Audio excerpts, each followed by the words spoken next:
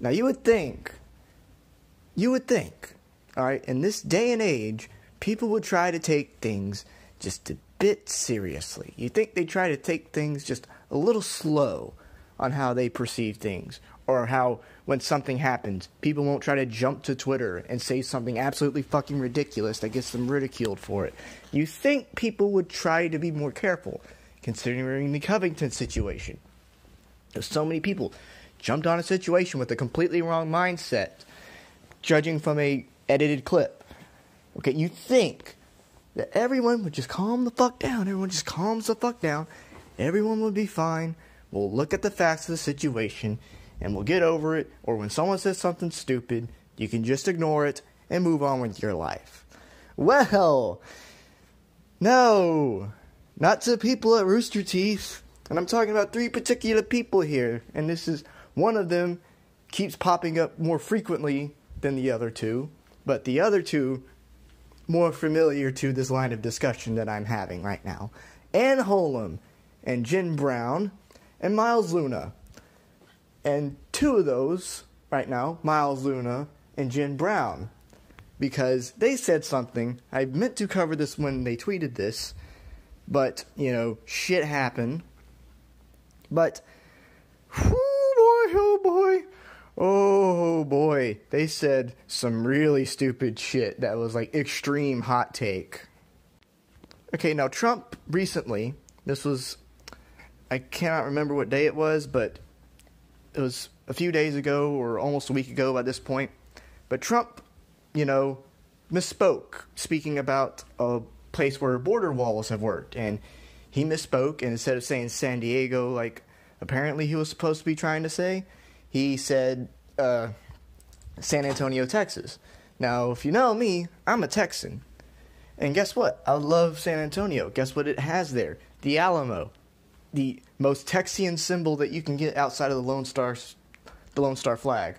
Okay? Like, oh my god, San Antonio is such a wonderful fucking city, and despite the fact that it's run by Democrats, it's not a terribly run city. It's not like shit. They actually do well over there, despite the fact I do disagree vehemently with some of the policy. But it's not a bad city. I like the city. I've been there more than a few times. Every time I go there, I have a wonderful time, especially going around the Alamo. Well, Trump, you know, he misspoke. He was trying to say that San Antonio has a wall and it doesn't have a wall. And, you know, you would rightly say, well, that was pretty fucking stupid. But Jake Tapper clarified that, hey, he was trying to be talking about San Diego, or at least one California city that's near the border that has a wall that works.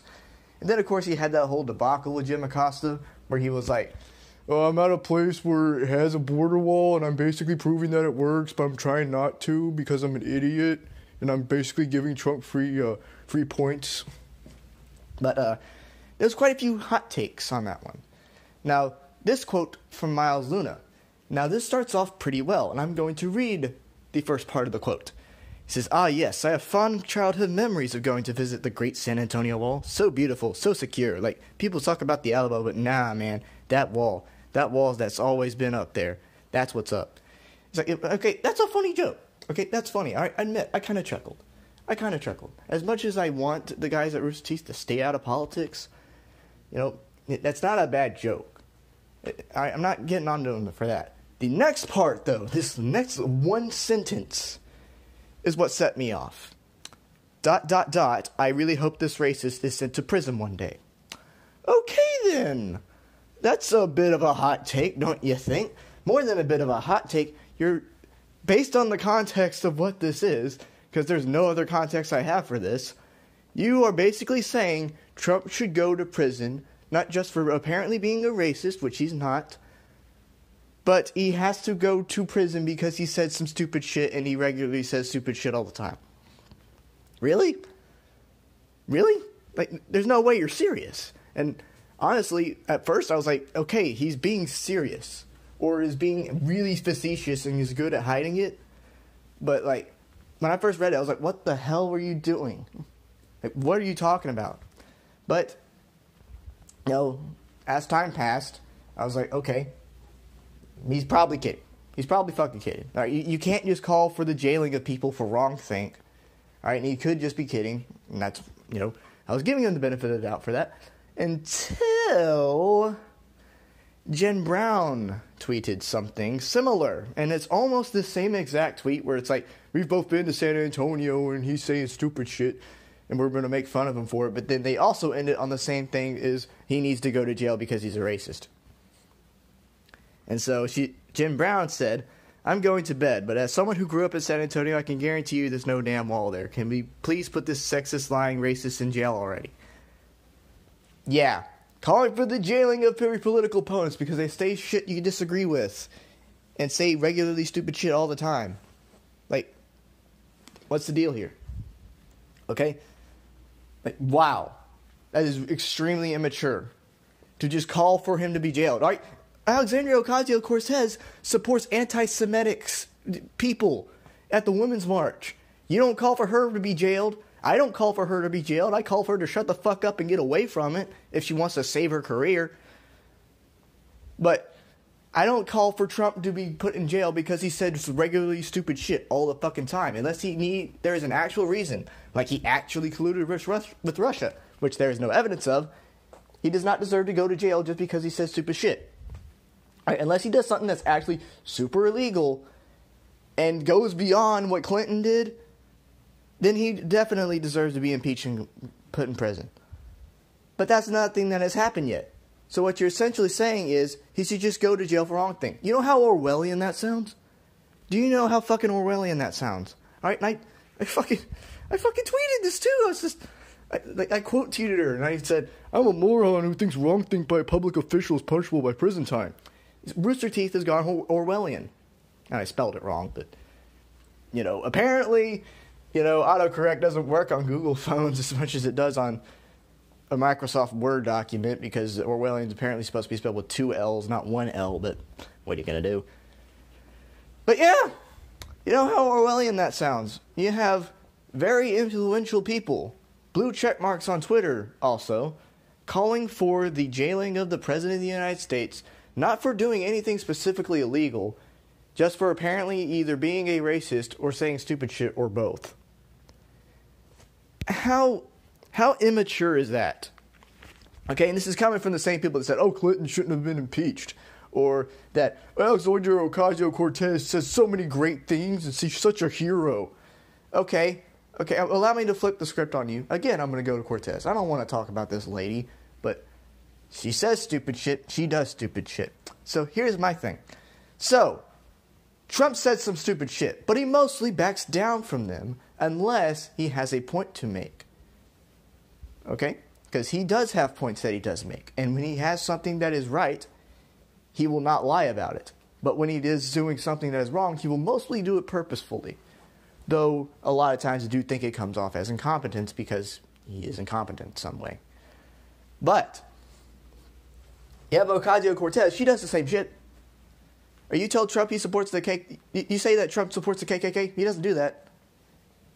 All right, he may have been flaunting around with the alt right just a bit too closely during the election and after Charlottesville, but Ocasio Cortez is literally allied with anti-Semites. And you're not, and you support her, Jen Brown. I see you like her fucking tweets all the time. Miles Luna, you probably do too. Barbara Dunkelman, Ashley Jones, or if I'm if if I'm you all support her. Right, and Barbara Dunkelman liked those tweets, or at least one of those tweets. I think she liked Miles's tweet. You know how hypocritical you are? That, that's not only showing how fucking hypocritical you are and where your biases lay, you are also basically giving in to the Orwellian way of thinking, where if you think wrong, if you don't do as do as what we say and what we do or follow what we do, then you deserve to go to prison. Okay? Now you could be joking. All right, I'm I'm leaving it at that. All right, I'm giving you somewhat of the benefit of the doubt. But with two of you saying nearly the exact same fucking thing, I can't say that that's not coincidence, but it is coincidence, but I can't say that it's not something that can be taken as a joke lightly. Okay, that is those are very two very similar and very damaging statements to make. Okay? And this is also, we're also coming off of the, oh, people getting laid off at HuffPo because these opinion piece, pieces people, these op ed people, aren't actually journalists and they're doing a really shitty job, and that's why they're losing all their jobs. And because, oh my God, we're losing money because these people keep fucking shit up. Yeah. You're going to say that. You're just going to say that. I mean, this was before all this. This stuff with Jen Brown and Miles was before all this, by the way, but still. This just shows you that the ideological mindset of some of Rooster Teeth's highest employees, okay? Miles Luna, he's like a head writer for half their shit. Jen Brown, one of their like most important actresses. Barbara Dunkelman's been there for a long time. Ann Holem. Also, in response to the Covington thing, I know I showed this in my video over the whole Covington situation. But, you know, shared around a fucking seven second clip with no context and don't even know if those were the actual boys that were sitting there at that at, at the Lincoln Memorial. There were just a few guys sitting in the bench with apparently red hats. She's like, Girl, same, I'm so tired too.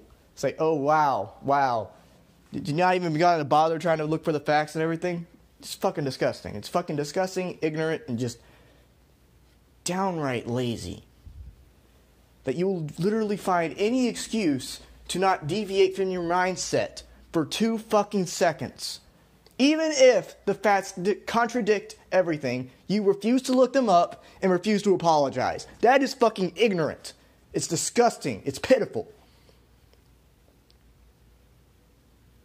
All right, this is all my message to all the people who did the shit alongside them and refused to apologize. Reza Aslan, you fucking hypocritic dicks, dick sucking motherfuckers. Okay? Apologize to these fucking kids if you did that. And then Miles Luna and Jen Brown, shut the fuck up. Get the fuck off Twitter. You have no idea what the hell you're talking about. Okay? You can make good jokes occasionally. You can post stuff about Rooster Teeth and how much it's growing, but keep your ideological bullshit to yourself. Shut the fuck up and improve your craft. Because if you don't improve your craft and you keep delving down into this ideological mindset and you just like increase it tenfold over the next year, Rooster Teeth's gonna go get woke, go broke. Because that's basically what you're doing. You've already been broke, woke. And I think it was basic. You're basically a meme where it's like when you're one of those companies that is woke but hasn't gone broke yet you're to get woke and go broke soon enough. That's my message to you. so, anyway, thank you guys for listening. I hope you enjoyed. Uh, I don't want to cover Rooster Teeth. I don't. I don't want to cover Rooster Teeth as much as I do, but they keep saying the stupidest fucking shit. People who work there, people who are running it. Okay? People who work on the craft that they're trying to produce and they keep fucking it up by, you know, doing all this stupid shit on Twitter. It's just ridiculous.